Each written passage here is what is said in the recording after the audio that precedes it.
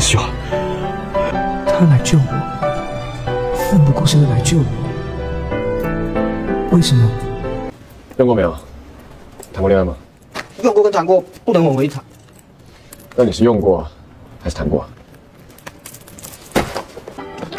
记得给我钱。其实小秘书本想进入大公司干出一番事业，可最近自己的工作似乎有点奇怪，除了充当总经理的出气筒，就是按摩带饭，破坏相亲。这些对摄影来说很困扰吗？我想成为像各位姐姐们一样的能干秘书，能够在工作上为总经理分担。看来，可小秘书的抱怨却正好被总经理听到。原来他的小秘书不喜欢为他做这些，自己却还自作多情，以为他是心甘情愿为自己付出。原来一切都不是出自真心，而是他不得不做。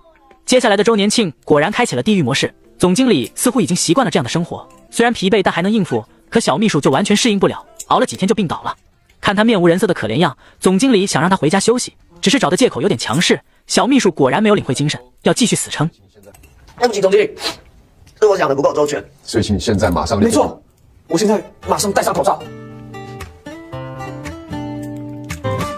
总经理放心，我绝对不会传染给你的。还真贴心。最后总经理实在看不下去了，把人押上车，让司机赶紧送他回家。然而就是这个无心之举，却让小秘书陷入了极度危险之中。直接送他回家。是。路上记得帮我拿二重。是。报价打电话给我。司机下车给他买个粥的功夫，小秘书就被人掳走了。司机不知情，以为这人就是没打招呼，提前离开，压根就没在意。可一直联系不上小秘书的霸总却心神不宁，坐立不安。他担心小秘书的病情，更担心没人照顾他。这时秘书室接到一通神秘电话，嚣张称他已经绑架了总经理，让他们乖乖交赎金。本以为是恶作剧，却在电话里听到了小秘书的声音：“一亿元，不然的话，都等着烧死啊！”我警告你，不准伤害他。总经理这下彻底不淡定了。他让秘书室赶紧定位小秘书的手机，他先出发去救人。虽然他也极其恐惧，可这些都比不上小秘书的人身安全重要。他现在根本顾不上了，只想立刻飞奔到那人身边去保护他。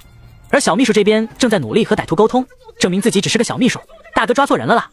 然而歹徒崩溃了，他也是苦命的人，自己失业没工作，孩子还急需前来救命，没办法才出此下策，结果却乌龙一场。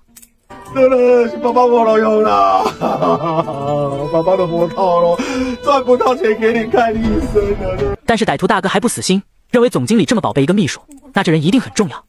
我们总经理平时我套了，好不好？就像我去办公室旁边的门诊，就在那边。他说我只要呼吸就好了。可能他很希望你刚才有救第四条。难兄难弟终于找到了共同语言。真是相见恨晚的感觉，立马以兄弟相称，都约好了下次一起吃饭。正在松绑的时候，总经理赶到，二话不说就是对歹徒的一顿输出。小秘书赶紧去拦。此时的霸总看见小秘书身上的血，已经顾不上其他了，只想把这人一辈子锁在自己身边，不再让他受一点点伤。叶修，